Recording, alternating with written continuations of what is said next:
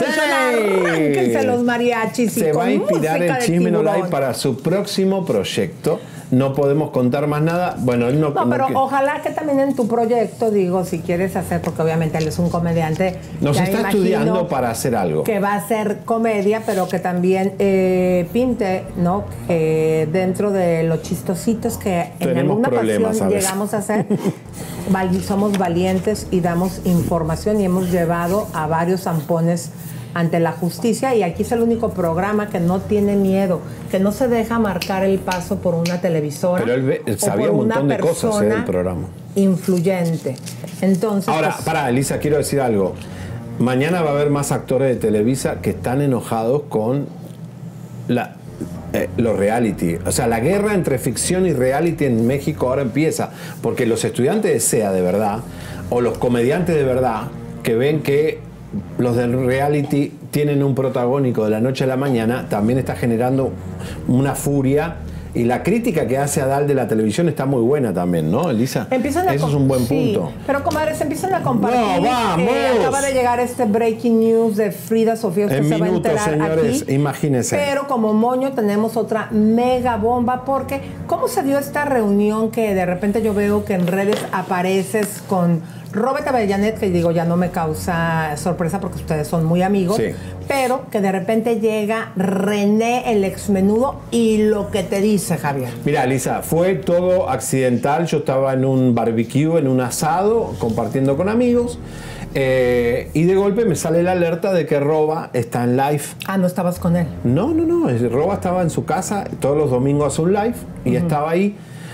Y de golpe entro y veo que está él con René. Wow. Pero yo al entrar, Roba me acepta y entro yo. O sea, le hiciste solicitud para entrar al live. Le hice solicitud para entrar al live y Pero ya no Cuenten, ya no cuentes más. Vean ustedes el mega ¿eh? escándalo. Y te estás enterando aquí en Chile. Fíjense que sea el, último que llegó, por favor. Porque a Edgar el sucio, sus días están siendo ya contados. Viene el agua muy valiente lo que vas a hacer. Hay que darte ánimo, hay que darte fuerza, hay que apapacharte, hay que protegerte, este, hay que cuidarte después que rompas el silencio. Gracias por este adelanto porque estamos, nos entusiasma, ¿no? Y, nos pone en alerta para que todos vayamos a escucharte en este documental porque hay que ayudar a Roy, hay que ayudarte a ti, hay que ayudar a todos. Eh, y queremos justicia. De verdad, yo estoy muy enojado con este señor Edgardo Díaz, pero muy enojado y no voy a descansar como periodista hasta verlo en la cárcel. Definitivamente, eh, Javier, tú, y, tu compañera Elisa, han puesto, no es un grano de arena, han puesto un saco de arena eh, para que todo esto suceda. Eh, se lo agradezco enormemente. Esto todavía comienza, todavía comienza la pregunta del millón es, ¿vas a contar, vas a, aportar algo fuerte? ¿Qué podemos esperar? Bueno, definitivamente es que hemos sido tantos los que hemos pasado por ahí, Javier. Entonces, cada uno de nosotros tenemos una historia diferente. Eh, y algunas cosas que le pasaron a uno, a mí no me pasaron, pero cosas que me pasaron a mí tampoco a otros le pasaron. Ah, yo sé que hay mucha gente temblando por ahí, porque los que me conocen bien saben que yo no como mierda ni tengo pelos en la lengua. Algunos que son cómplices del silencio, y yo me asumo que es mi crítica, algunos que están muy calladitos, que saben muchas cosas. Sí. ¿eh? Y los que no, totalmente. y, inclusive, muy aparte de, todo este séquito de pedófilos que habían ahí, eh, eh, es muy es triste triste, por no decir que estaban, me molesta grandemente, que compañeros de nosotros que estaban ahí y vieron todo lo que estaba pasando, se hagan los... O sea... No, se hagan, se hagan los... Capturando, haciendo tour. Sí, sí, sí, no, no, y haciéndose los como si nada, como si no hubiera pasado nada. A, a, esos son los que deberían de meterle 50 años a cárcel, en vez de a Menéndez. O sea, a, toda esta gente, porque eso, ellos lo vivieron, yo estaba ahí, ellos estaban ahí también. O sea, que si yo lo vi, ellos lo vieron también, pero no sé por qué razón no, no quieren hablar, no quieren hablar. Eh, afecta y, y, este hombre está libre, eso es lo que quiero que la gente entienda. Este hombre está libre, este hombre está disfrutando su dinero, este hombre no va a cambiar y, y esto no puede volver a repetirse en la industria del espectáculo. Eso es importante, el testimonio de ustedes. Y que lo hagas, René, es súper importante. Te estamos esperando. Claro. Escuchar inclusive, inclusive cuando sale el documental, yo empiezo obviamente a apoyar a Roy eh, por las redes y todo esto. Me empezaron a enviar mensajes directos por Instagram, porque ellos no tienen comunicarse conmigo, varios de los pedos que trabajaban con nosotros, tratando, tratando de comunicarse conmigo, porque están cagados, porque están Muy bien, ¿Entiendes? varios de ellos, de esas personas que estaban trabajando ahí con nosotros, enviándome eh, mensajes, no mira, que necesito hablar contigo urgente, comunícate conmigo, que quiero hablar contigo. Y, bueno, y, viendo todo lo que has sufrido, eh, evidentemente lo tuyo con Edgardo sí fue fuerte, ¿no? ¿Verdad? Pudiste identificarte con Roy. Fue muy parecido, diferente, diferente, fue diferente porque lo de Roy fue mm, mm, más serio de lo que pasó conmigo. Lo de, lo de, lo de Roy es muy fuerte, muy, muy, muy, muy fuerte. Esto no nos afectó a nosotros, esto nos afectó a todas nuestras familias, a cómo nosotros pudimos eh, percibir la vida, no pudimos tener unas relaciones saludables con nuestras parejas.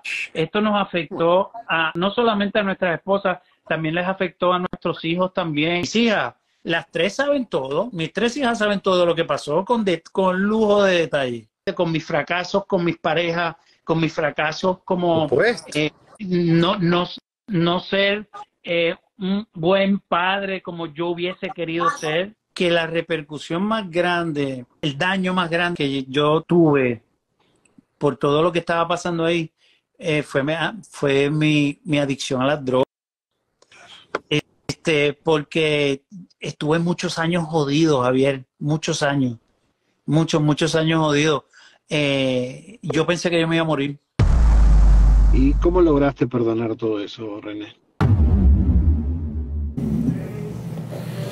Bueno, Elisa, mañana tenemos la segunda parte, es desgarrador y atención que va a hablar de Ricky Martin. Y cuando habla de los HDP de menudo que no hablan, estamos hablando de Johnny Lozada, Miguel Cancel y Quique Menéndez, estos tres patrones del mal de menudo que tienen nexo con Edgardo porque uno es sobrino del primo de Edgardo y siguen facturando y no van a separarse porque no van a tirarle a Edgardo porque siguen de alguna forma con un cordón lumbilical.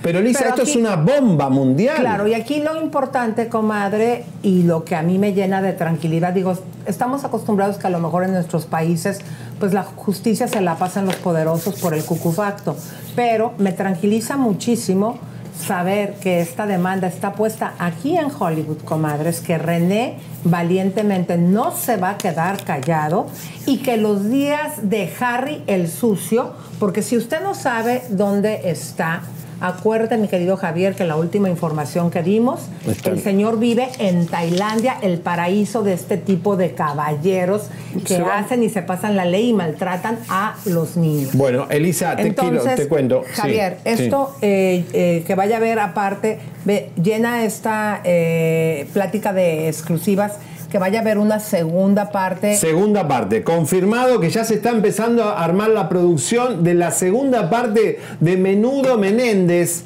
Eh, donde estuvo Roy Rosselló haciendo todas sus denuncias con su caso. Ahora el gran protagonista va a ser René Farrait.